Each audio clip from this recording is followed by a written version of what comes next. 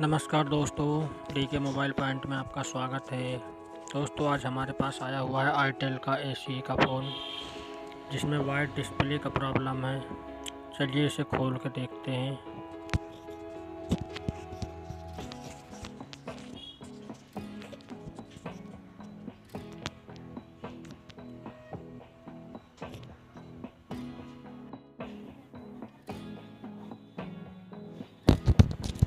देख सकते हैं दोस्तों आप, बिल्कुल क्लीन है डिस्प्ले तो।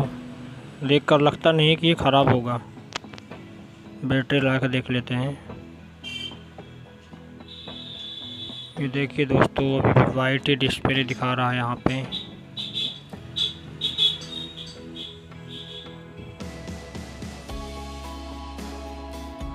चलिए एक बार इसे रिसोर्ट करके देखते हैं। शायद रिसोर्ट करने से कहीं आ जाए।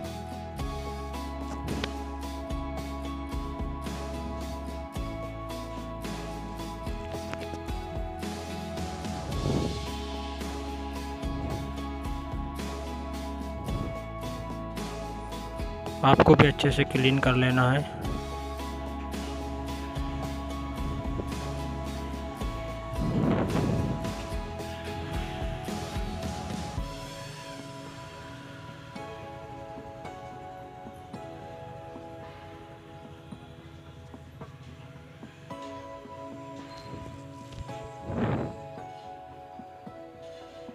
चलिए हमने इसे रिसोल्व कर दिया है दोस्तों। अब देखते हैं लॉक है बैटरी को। ग्राफिक्स आता है या नहीं? देखिए, अभी भी दोस्तों, ग्राफिक्स नहीं आया है।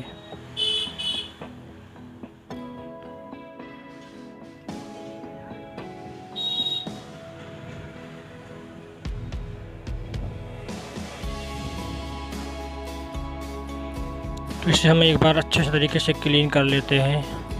अब बताता हूँ दोस्तों, मैं इसका उपाय। अगर आप भी न्यू डिस्प्ले लगा लगा के परेशान हो गए हैं तो।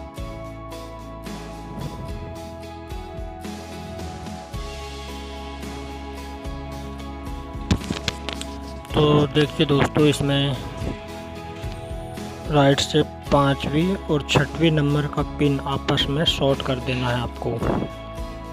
ये देखिए, हम शॉर्ट कर रहे हैं पाँचवीं और छठवीं नंबर की पिन को। इसे शॉर्ट करने के बाद में जो आपका वाइट डिस्प्ले का प्रॉब्लम है, वो बिल्कुल सौ परसेंट सही हो जाएगा। देखिए दोस्तों, हमने शॉर्ट कर दिया है। अब चलिए इसे हम चालू करके देख लेते हैं बैटरी लाकर।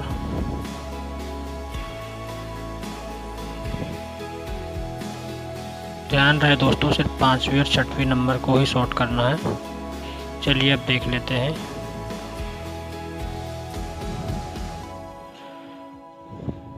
तो देख देख सकते हैं दोस्तों आप वाइट डिस्प्ले का जो हमारा प्रॉब्लम था, बिल्कुल ठीक हो गया है। अगर आपके पास भी कोई ऐसा मोबाइल आए रिपेयरिंग के लिए तो आप इसी तरीके से ठीक कर सकते हैं। वीडियो अगर आपको अच्छी लगी हो दोस्तों तो मेरे चैनल को सब्सक्राइब एंड मेरे वीडियो को लाइक ज़रूर करें। धन्यवाद। Thanks for watching